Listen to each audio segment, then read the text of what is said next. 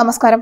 മഹാരാഷ്ട്രയിൽ ടൗട്ടെ ചുഴലിക്കാറ്റിൽപ്പെട്ട ഒ എൻ ജി സിയുടെ രണ്ട് ബാർജുകൾ അറബിക്കടലിൽ മുങ്ങി. ഒ എൻ ജി സി ബാർജുകൾ മുങ്ങിയതിൽ നൂറ്റി ഇരുപത്തിയേഴ് പേരെ കാണാതായതായി റിപ്പോർട്ടുകൾ. മൂന്ന് ബാർജുകളിലായി നാനൂറിലേറെ പേർ ഉണ്ടായിരുന്നു. നൂറ്റി നാൽപ്പത്തിയേഴ് പേരെ നാവികസേന രക്ഷപ്പെടുത്തി.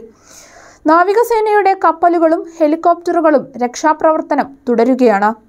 പര്യവേഷണ നിർമ്മാണ ആവശ്യങ്ങൾക്കുള്ള ബാർജുകളാണ് ഒഴുക്കിൽപ്പെട്ടത്.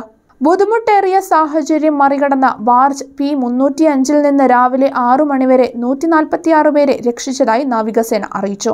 I N S Kochi Kolkata കപ്പലുകൾ രക്ഷാപ്രവർത്തനം തുടരുകയാണ്.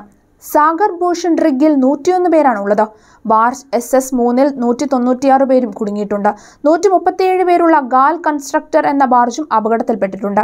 എഞ്ചിൻ തകരാറിനെ തുടർന്ന് മുംബൈ തീരത്ത് നിന്ന് എട്ട് നോട്ടിക്കൽ മൈൽ അകലെ വെച്ചാണ് ഈ ബാർജ് അപകടത്തിൽപ്പെട്ടത്. ഈ ബാർജിലുള്ളവരെ രക്ഷപ്പെടുത്താനുള്ള ശ്രമങ്ങൾ നടത്തിവരികയാണ്. ബാർജ് എസ് എസ് ത്രീയിൽ ഇരുന്നൂറ്റി തൊണ്ണൂറ്റിയേഴ് പേരാണുള്ളത്. ഇവരുടെ രക്ഷാപ്രവർത്തനത്തിലുള്ള ശ്രമങ്ങൾ നടത്തിവരികയാണ്.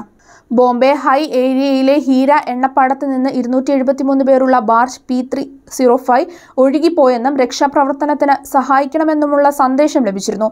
ഇതേ തുടർന്ന് ഐ എൻ എസ് കൊച്ചി സംഭവസ്ഥലത്തേക്ക് രക്ഷാപ്രവർത്തനത്തിനായി എത്തിച്ചേരുകയായിരുന്നുവെന്ന് നാവികസേനാ ഉദ്യോഗസ്ഥൻ പറഞ്ഞു. ദക്ഷിണ പടിഞ്ഞാറൻ മുംബൈയിൽ നിന്ന് എഴുപത് കിലോമീറ്റർ അകലെയാണ് എണ്ണപ്പാടങ്ങൾ. കഴിഞ്ഞ ദിവസം വൈകുന്നേരത്തോടെയാണ് മുംബൈ തീരത്ത് രണ്ട് ബാർജുകൾ അപകടത്തിൽപ്പെട്ടത്. കൊടുങ്കാറ്റിൽപ്പെട്ട ഇവ ഒഴുകി നടക്കുന്ന ഒരു സ്ഥിതി ഉണ്ടായിരുന്നു. ഇതിനെ തുടർന്ന് നാവികസേനയുടെ രണ്ട് യുദ്ധക്കപ്പലുകൾ രക്ഷാപ്രവർത്തനത്തിന് വേണ്ടി തിരിച്ചു. അതേസമയം അതിതീവ്ര ചുഴലിക്കാറ്റായി മാറിയ ടൗട്ടെ ഗുജറാത്തിന്റെ പടിഞ്ഞാറൻ തീരം തൊട്ടു. മണിക്കൂറിൽ നൂറ്റി തൊണ്ണൂറ് കിലോമീറ്റർ വേഗതയിൽ വീശിയടിച്ച കാറ്റ് ഗുജറാത്തിൽ നാശനഷ്ടങ്ങൾ വിതച്ചു. സംസ്ഥാനത്ത് മഴ തുടരുകയാണ്. കനത്ത മഴയിൽ ഗുജറാത്തിൽ പലയിടത്തും മണ്ണിടിച്ചിൽ ഉണ്ടായി. വൈദ്യുത ലൈനുകൾ പൊട്ടിവീണു മരങ്ങൾ കടപുഴകി. തീരമേഖലയിൽ ചുവപ്പ് ജാഗ്രത തുടരുകയാണ്. അർദ്ധരാത്രിയോടെ അതിതീവ്ര ചുഴലിക്കാറ്റ് ശക്തി കുറഞ്ഞ തീവ്രത ഏറിയ ചുഴലിക്കാറ്റായി രൂപാന്തരപ്പെട്ടു. ചുഴലിക്കാറ്റിന്റെ ശക്തി കുറഞ്ഞു വരുന്നതായി കാലാവസ്ഥാ വകുപ്പ് tweet ചെയ്തിട്ടുമുണ്ട്. News desk right news.